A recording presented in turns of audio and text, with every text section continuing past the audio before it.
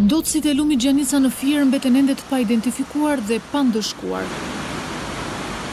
Prefekti i Fierit Baki Bala duke iu përgjigjur interesit të Ora News tha se janë inspektuar dy subjekte naftënxjerrëse, por ende nuk është arritur në një përfundim.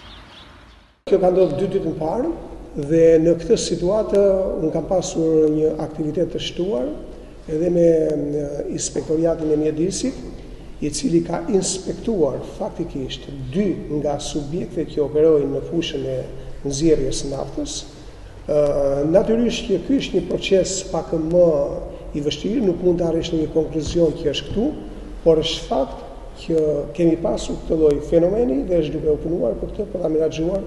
Të mërkurën IShP-ja në Fier tha se pas verifikimeve kishte dyshime se mbetjet në Gjanicë mund të jenë hedhur nga ndonjë prej pesë fasonerive që veprojnë në zonë. pasi të gjitha pikat e hidrokarbureve janë të pezulluara. Ndryshe mendon prefekti Bala. Sipas tij, mjafton që në kompanitë hidrokarbure të punojë një person për të bërë të mundur ndotjen.